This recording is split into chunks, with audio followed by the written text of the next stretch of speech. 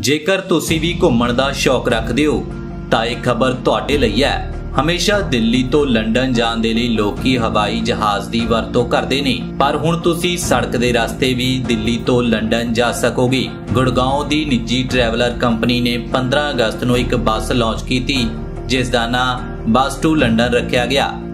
ਇਸ ਬੱਸ ਦੇ ਮਾਧਿਅਮ ਦੇ ਨਾਲ 70 ਦਿਨਾਂ ਦੇ ਵਿੱਚ ਤੁਸੀਂ ਦਿੱਲੀ ਤੋਂ ਲੰਡਨ ਪਹੁੰਚ ਸਕਦੇ ਹੋ। ਜੀ ਹਾਂ ਇਹ ਸੰਭਵ ਕਰ ਦਿਖਾਇਆ ਹੈ।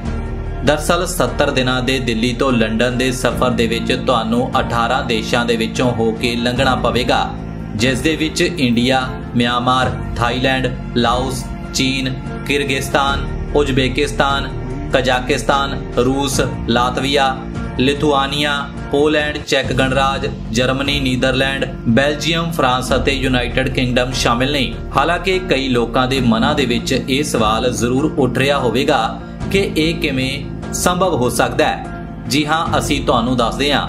ਦਰਸਲ ਦਿੱਲੀ ਦੇ ਵਾਸੀ ਦੋ ਸ਼ਖਸ ਤੁਸ਼ਾਰ ਅਤੇ ਸੰਜੇ ਮਦਾਨ ਦੋਵੇਂ ਪਹਿਲਾਂ ਸੜਕ ਦੇ ਰਸਤੇ ਦਿੱਲੀ ਤੋਂ ਲੰਡਨ ਜਾ ਚੁੱਕੇ ਨੇ। ਇੰਨਾ ਹੀ ਨਹੀਂ, ਦੋਵਾਂ ਨੇ 2017 2018 ਤੇ 2019 ਦੇ ਵਿੱਚ ਕਾਰ ਦੇ ਰਾਹੀਂ ਸਫ਼ਰ ਤੈਅ ਕੀਤਾ ਸੀ।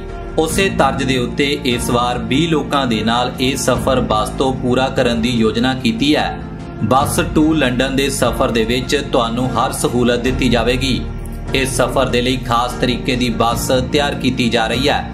ਇਸ ਬੱਸ ਦੇ ਵਿੱਚ 20 ਸਵਾਰੀਆਂ ਦੇ ਬੈਠਣ ਦਾ ਇੰਤਜ਼ਾਮ ਹੋਵੇਗਾ ਅਤੇ ਸਾਰੀਆਂ ਸੀਟਾਂ ਬਿਜ਼ਨਸ ਕਲਾਸ ਦੀਆਂ ਹੋਣਗੀਆਂ।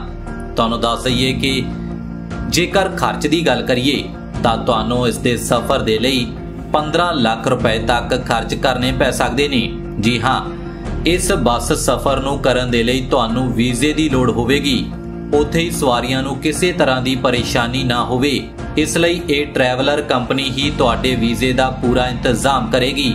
ਬੱਸ ਟੂ ਲੰਡਨ ਦੇ ਇਸ ਸਫ਼ਰ ਦੇ ਲਈ ਚਾਰ ਕੈਟੇਗਰੀਆਂ ਚੁਣੀਆਂ ਗਈਆਂ ਨੇ।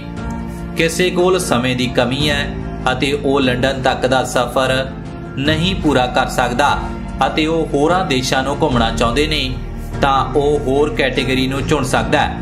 ਹਰ ਇੱਕ ਕੈਟਾਗਰੀ ਦੇ ਲਈ ਤੁਹਾਨੂੰ ਵੱਖ-ਵੱਖ ਕੀਮਤ ਚੁਕਾਉਣੀ ਹੋਵੇਗੀ।